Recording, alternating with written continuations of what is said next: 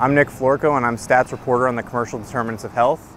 And we're at the FDA's campus and the bus is here, so we're gonna do it again. I'm Nick Florko and I'm stats reporter on the commercial determinants of health. And we're here at the FDA's campus in White Oak, Maryland to see how many illegal products we can buy around the FDA's headquarters. The FDA is supposed to set the rules on what drugs, devices, tobacco, and dietary supplement products are allowed to be sold in the US. But increasingly, there are more and more illegal products openly being sold around the country, including in the FDA's backyard. These are the ones that we found.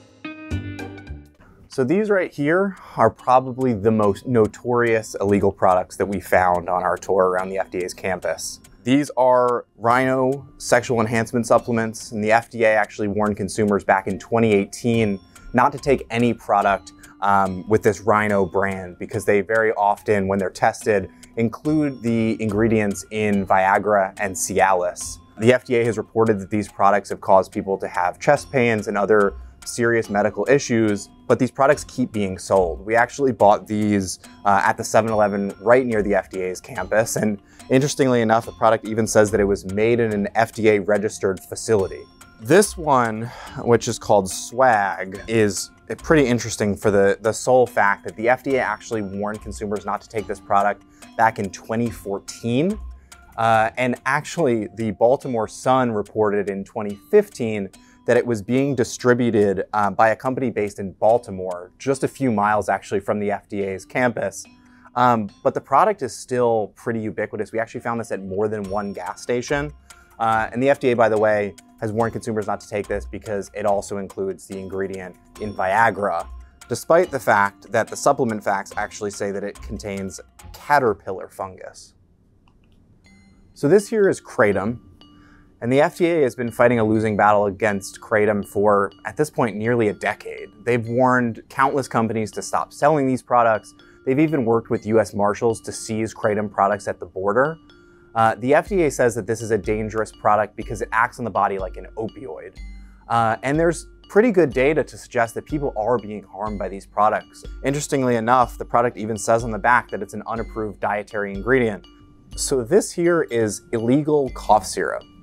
Uh, the main ingredient in this product, Ambroxol, isn't approved for use in over-the-counter cough syrups here in the US. At least two infant deaths were caused by this product. Ambroxol is not approved for over-the-counter use and cannot legally be sold in the United States.